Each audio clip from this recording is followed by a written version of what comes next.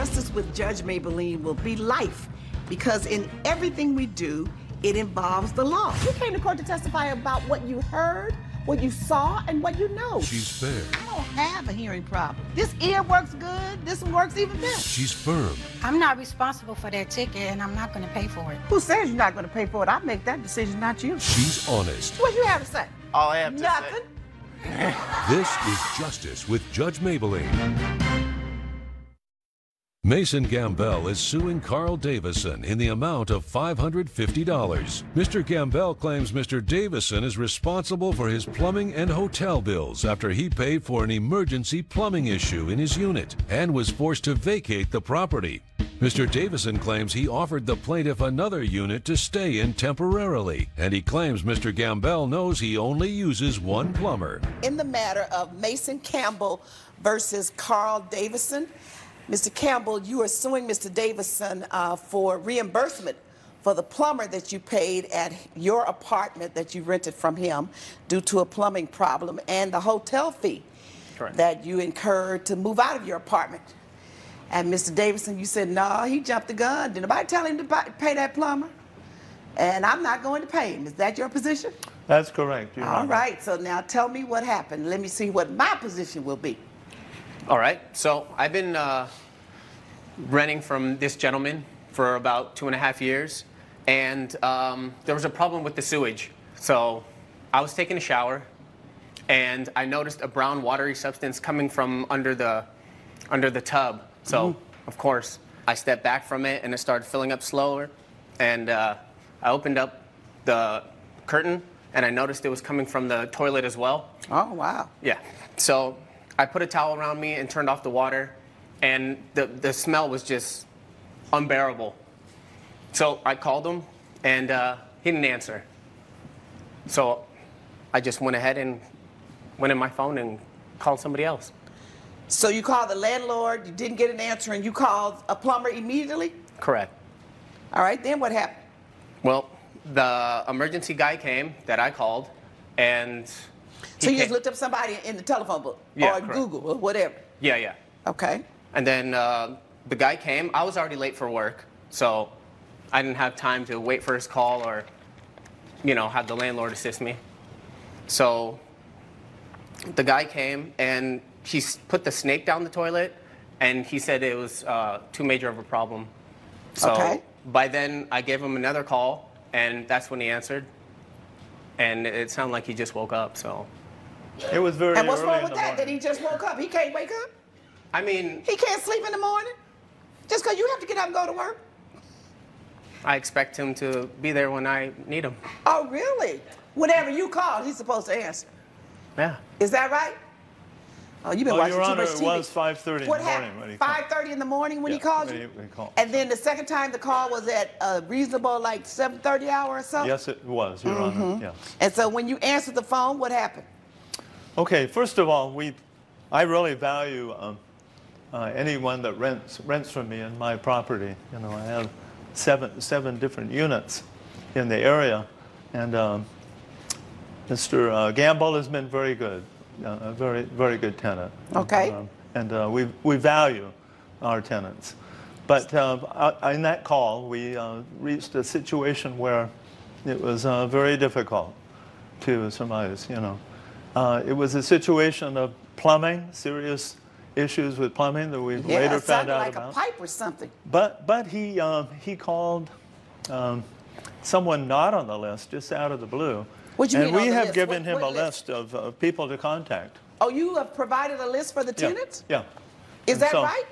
And so they That's can correct, Your Honor. they can um, they can contact um, me first of all, Mm-hmm. which which he did, and then they called uh, from the list there. And there's plumbing, cable, electrical, different different issues that might come up during uh, the uh, agreement this we list? have. Yeah. I did. You So why wouldn't you call the plumber on the list? Coming up on Justice with Judge Mablean. How many days did it take your plumber to repair the problem? It was a three-day job. So why were you in the hotel four days? It took four days. And later, You changed the battery. You didn't reset the time? No. Why Uh, not? The whole point, purpose of a watch is to have an accurate time. We're back with the case of Mason Gambell, who is suing Carl Davison for $550. You just call any old plumber. Any old plumber. And this and your landlord has provided you this extensive list to call for an emergency any of his workers. Correct. Oh, okay. That's unusual. Most landlords don't give you their list and give you permission to place the call if you can't reach him. Go on, Mr. Davison. Well, Your Honor, um, Mr. Gamble uh, went ahead and, uh, because of the what had happened in his unit, he went ahead and uh, went to a hotel. You know. Oh, he didn't but tell me we that had part. offered him a. Wait a um, minute. So when did you go to the hotel? After you got home from work, or before you went to work? After I came home from work. And how long did you stay in the hotel? Uh, for about four days. Four days. Four days. Four days. And what was the cost of that? 160, Your Honor. For four days? Oh, I'm sorry. It was 390. Okay. And the, the 160 is what you paid the plumber who came out that did nothing? Correct. Okay. So, Your Honor, we have Oh. um, another issue here. We have. Well, let um, me ask you this. He, he went to stay at the hotel after he came home from work. When he called you the second time and reached you, what did you do, Mr. Davison? I offered him a, um, another unit upstairs, okay, which was very clean, which was ready for anyone to move into. But I offered him a place to live until we could rectify this, this issue downstairs. All right. Okay. And what did you do about the issue? Did you call your plumber? I called Carlos on our list, and uh, he's very reputable. Uh, as a, and and uh, Mr. Davidson's uh, plumbers are, did not have a very good reputation, as you can see. Well, forget about that. Obviously, they didn't get the job done. Did Yeah. your plumber Yeah. get the job done? Yeah. And He how long in did it take your plumber? He uh, had to go into the wall Okay. and uh, repair some broken uh, pipes. We hated to see that done, but uh, it needed to be done. It was done at less than uh, his plumber's cost. So and that was how much did that 900, cost you? uh, About, let's see, it was um, approximately $820. And how many days did it take your plumber to repair the problem? It was a three-day job. Uh, three days. Yeah. So why were you in the hotel four days? It took four days. It really did. I, I Do you have every the day. receipt for paying your plumber? Do you have the receipt for paying your plumber? Um, yeah, it should be in the notes. Should be where? Yeah, in the evidence, and I said. Well, you didn't present any evidence to me. Yeah. Well, we have, we have the, we have the receipt. It was, um, Okay, so was, uh, do you dispute how much he paid the plumber? Did he ever show you or tell you? Um, he did not. Okay. Now, did you move out? I did. When did you move? I moved out um, about six months ago. How long after this incident did oh, you move after out? the incident, three months. All right. And I understand, uh, are you asking for rent from him? You're not asking for that. no, we went to the, uh, uh, the lease agreement, and um, I, I deducted some painting and general things that, that people, that we give back to our, um, So you our deducted renters, you know, security deposit for Yeah. damages? Yeah, right. And you're not disputing any of that today? I didn't see any of that in your papers. I actually am. Really? I would then like you it- better hurry up and tell me about it. Why All didn't you mention it when you were talking? Just because I, I think he's just nitpicking me, um, you know. okay, how just- much was your security deposit? Okay, $500, Your Honor. Okay, so we have $500. And how much were the da- did you pay for damages? Okay, we took care of the damages, okay. Okay, I am not going to deal with the issue of your security deposit because all of a sudden you're bringing that up. All right. And all of the paperwork I read in preparing this case, and the evidence you presented to the court, and what you were complaining about, you didn't say anything about the security deposit. Now that I asked the question, you want to bring it up, but you didn't plead that initially. All you asked the court to deal with was reimbursement for the hotel and for the plumber. Your Honor, we uh, returned $270 It's not an issue. You don't have to talk about it. Yeah, no. So I'm ready to rule. Plumber issue, your payment of the plumber. The law does not allow a tenant to just pick up the phone and call anyone to come and do repairs to someone else's property. It was an emergency situation, and were you not able to reach Mr. Davison or someone on his staff, then that's an emergency and you would be within your right to do so. But He had provided you a list of persons to call in the event of emergency. You needed to use that list. Now, I, I, the sewage on the floor, that just would have been additional damage to the property because of the sewage, which he would have been responsible for. So you get out of the, tub, the shower, you walk over there, you get this list. And whatever other damage you caused, he would have had to pay for that. All right? So you're didn't excused from to- doing so. Listen to me so you can learn in the future. All Okay. right? You also are not permitted to go and get another room somewhere just because. He made you an offer.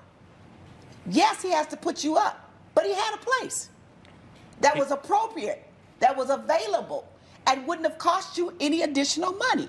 You chose to do it a different way. That's not the way it's done. I'd just like to add, he gave me a key to look at upstairs, and Mm-hmm. it still had the smell of the sewer, and that's why I Well, went you ahead know and got what? my It's kind of late for you to add that because you had a whole chance to tell me all that. Well, sir, I think Sir. we felt we had it all Mr. cleaned Davidson, up. you know, Mr. that- Davidson, Yeah. why you debate with him? I'm finished. It's all over. I just you, ruled Honor. in your favor. Thank you got to know when to hold and know when to fold. It's time for you to fold. Uh, judgment for the defendant. All rise. Judge Mablean has ruled in favor of the defendant. The plaintiff's claim has been denied. All you had to do was call the plumber on the list that I gave you, and you didn't. Look, I thought it was an emergency. I'm glad I moved out. Now I don't have to deal with you anymore. Coming up, You changed the battery. You didn't reset the time. No. Why Uh, not? The whole pur- purpose of a watch is to have an accurate time. Adam Sandolo is suing Carl Grange in the amount of $700. Mr. Sandolo claims Mr. Grange broke his heirloom pocket watch after he took it to his store to be serviced. Mr. Grange says he isn't to blame and claims the plaintiff's watch was broken before it even got to his store. In the matter of Adam Sandolo versus Carl Grange, you want him to pay you $700 because it's your contention that he broke your grandpa's stopwatch that he'd given you, right? Yes, Your Honor. Okay, so what happened? So I was gifted this pocket watch by my great grandpa, and my father uh, recommended that I should get the battery replaced. And since it was uh, an heirloom, a family heirloom, um, I was told that uh, to go to the closest jeweler within my area. So I took it to Mr. Uh, Mr. Grunge over here, and um, he had told me that he could fix the battery with no problem. Replace the battery, Uh, yes, replace it. okay? So I left it with Mr. Uh, Grange um, for for a couple hours while I went and and shopped around. Um, I wasn't going to wait in the watch store for a couple hours while um, he's in the back working on the timepiece. So after I left the watch with him, I later returned and I noticed it was running kind of slow, but I figured it was just an antique watch problem. But when I got home, I realized it was still an hour behind, and that's when I noticed, okay, maybe the watch wasn't fixed properly. So a couple days later, I went back and I had Mr. Gringe um, look at the watch again, and he explained, oh, it was probably just the battery. But that's what he did the first time, the battery. Yes, um, that's why that's why I was uh, asking him. I was like, "But didn't you say it was the battery the first time?" And he told me, uh, "Oh yes, but um, th- this is a special watch. It's from the 1950s. It's a it's called a key set watch. So in the back, um, it needs a certain key to open up. So yeah, he proceeded to open the watch, and everything fell out. The watch just crumbled. Coming up, You changed the battery. You didn't reset the time. No. Why Uh, not? The whole pur- purpose of a watch is to have an accurate time. we're back with the case of Adam Sandolo, who is suing Carl Grange for property damage. Mr. Grange, when he brought the watch to you first Yeah. time around, Yes, Your Honor. how are you? I'm How long you been in the jewelry business? Well, I've been in the jewelry business for over 20 years. If you'd like Mm-hmm. to see my certification, I have one here. No, because if you show me a certification, it's gonna tell me you should have known what you were doing. Okay. You knew that was a 50s pocket watch when you saw it? Yes, Your Honor. I know the history of that vintage of watch. I do. They do have a life, these watches. Okay? I And know they- that. And uh, right away, I suggested to Mr. Saldano that perhaps he might think about uh, taking this watch and making a special place in the home to honor his grandfather and put that up because, uh, you know, maybe this vintage of timepiece uh, might have some problems to it. Was Yes. running out of time. Yeah. it was Maybe the timepiece was just running out of time. it was running out of time, and, Yeah. and based upon my personal experience, uh, I, I felt compelled to give him that information, even though the only service he wanted performed was the battery change. Okay, so he I changed the accept your battery. advice. I changed the battery and I gave it back to him. Okay, so when you changed the battery the first time, did you realize it had a key set, that it was a key set watch? Yes, Your Honor. Did yes, you I use a that. key to change the battery the No, first no. time? How did you change the first it, time? It wasn't, it wasn't necessary to do that. The key is to reset the time. That came later. The second time he came back. Wait, wait, wait. So you changed the battery, you didn't reset the time? No. Why Uh, not? No, I did. Excuse me. I did not reset the time. No, Why that's not? right. The whole point, purpose of a watch is to have an accurate time. Right. So if you change the battery and you know in order for the time to be accurate that you need to go in there with the key and reset the time, why did you do that? I just didn't do that. 20 years of experience with a certification. Yes, ma'am. So you did a half job. Judge Mablean's verdict when justice with Judge Mablean returns. Promotional consideration provided by Now he goes home, Yes, Your Honor. watch not running, still hour behind, still got the wrong time. Two days later he brings it back. What'd you say? Okay, again, when he brought the, the uh, watch back, um, he wanted and requested the service that I adjust the time of the watch. So I did, and, and because it's a key set watch, um, I looked for a key for that particular watch. I found one, but the minute that I took the back off that watch and put the key in, the watch fell apart. Hmm. Now, I understood that there was probably some prior damage that had been done to this watch. Now, when this prior damage was done, whether it was done before the plaintiff received the watch or because it had problems when he brought it to So me, everything fell apart. And, and whether it could have happened um, after he took the watch the first time when I put the And battery it could have happened when you put the key in there. The point is, we don't know who is responsible Well, you, or when that only- damage took place. It was only in your hands. You using the key, watch breaks.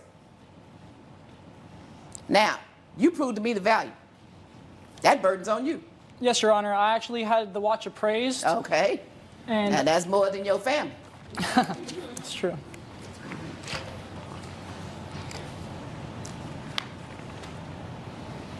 Oh yeah, I remember these. Grandpa had one. And according to the National Association of Jeweler Appraisers, it's worth seven hundred dollars. So I had to go with the evidence that's presented to to me, and he's standing there watching, and you're the only one. So who's touching the watch? So judgment for the plaintiff, seven hundred dollars. All rise. Judge Mablean has ruled in favor of the plaintiff. The defendant is ordered to pay $700. I'm sorry about your watch. I'll get you the $700. Hope you can find a replacement real soon. The watch meant a lot to my family, so I thank you.